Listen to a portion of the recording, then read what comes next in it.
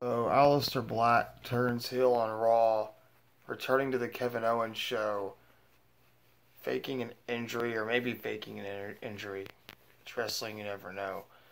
And um, you know, he was never really a, a baby face, anyways. He was kind of a tweener. I could never see Aleister Black as really a good guy. You know what I mean? He's more just a tweener. He probably needed a heel turn, honestly, to make his character a little more interesting. Because to be to be honest with you, the the WWE doesn't really know how to use him right, or know how to use him. Period, or know what to do with him.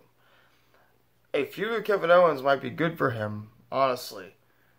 It is a little bit out of nowhere, a little bit shocking. He is a heel, in a way, but hopefully this will help his character out, and um, maybe him and Kevin Owens got some pretty good matches.